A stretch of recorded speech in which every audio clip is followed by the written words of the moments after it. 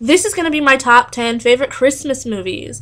They're in no particular order whatsoever, and the first two I'm going to start with. So, Christmas have. with the Kranks. I love that movie. It's so unconventional as far as a Christmas movie goes, and it's hilarious. And Tim Allen's awesome.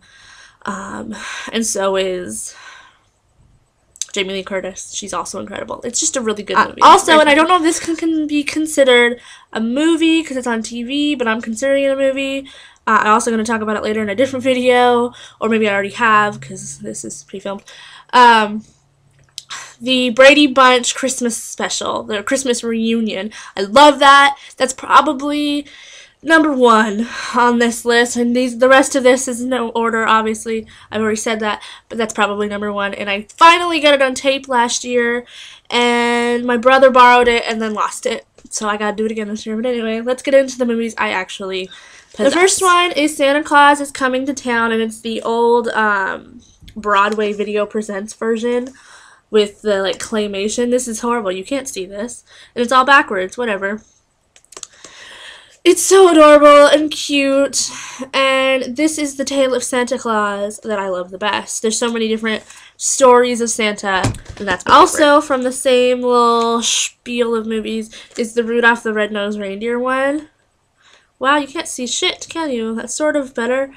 Um, again, favorite story of Rudolph. I know there's a bunch, but it's so cute, and these are just so, these are classics. You cannot go wrong with these Christmas classic series things, movies. These are the best. Now this DVD has four movies on it, but I only I bought it for the one down here in the corner, which is called Silent Night, and it's got um, the woman from the Terminator movies. I don't know her name. I don't know her real name. Linda Hamilton says it right there.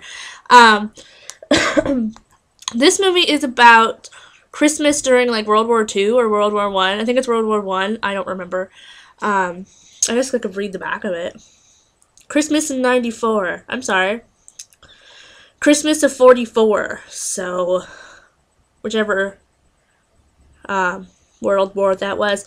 Basically, her and her son, who I I don't know him. I don't know what his name is or anything, but they live in this cabin in the middle of Germany, and it's set in Germany and um, all these American soldiers show up and they invite them into their home, and the American soldiers are also nice. But then all these German soldiers show up too, and uh, they try to coexist, and the German soldiers are not trusting of the American soldiers or of the woman and her child.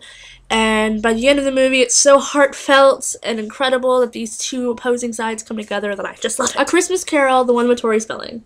This was, I believe, made for TV.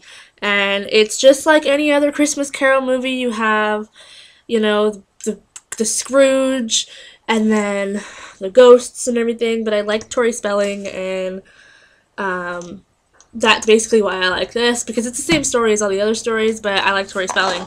National Lampoon's Christmas Vacation. I really don't think this needs an explanation. If you haven't seen it, where the hell have you been in the last, like, 20 years? Go watch it. It's hilarious. The scene with the cat is my favorite, and I think it's everybody else who's ever seen it. This one isn't favorite. really a movie either. Um, but it's and it's you can't see crap. Anyway, you know the Disney short stories. Um, there's three of them on here the small one, Pluto's Christmas Tree, and Mickey's Christmas Carol. Um, and Mickey's Christmas Carol and Pluto's Christmas Tree are my favorite on here. I used to watch them when I was little on TV. Then I found this DVD like four years ago at Walmart or something, and I had to buy it because it's my favorite little snippets of Christmas joy from Disney. And they're so like iconic. I love them. Jack Frost with Michael Keaton is so heart touching. It makes me cry every time I watch it.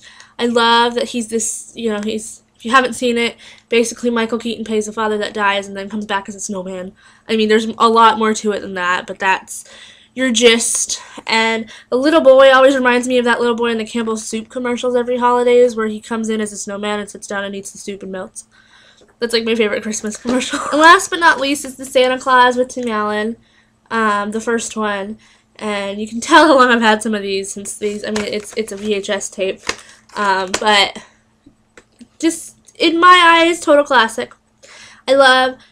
It's hilarious, and I love Bernard. He's like my favorite, and it's just they're just, just good movies. So go watch any of these movies and tell me your favorite Christmas movies because I want to see them. So tell me what they are. I'll go look them up and I'll watch them. Have a good day. I'll see you tomorrow.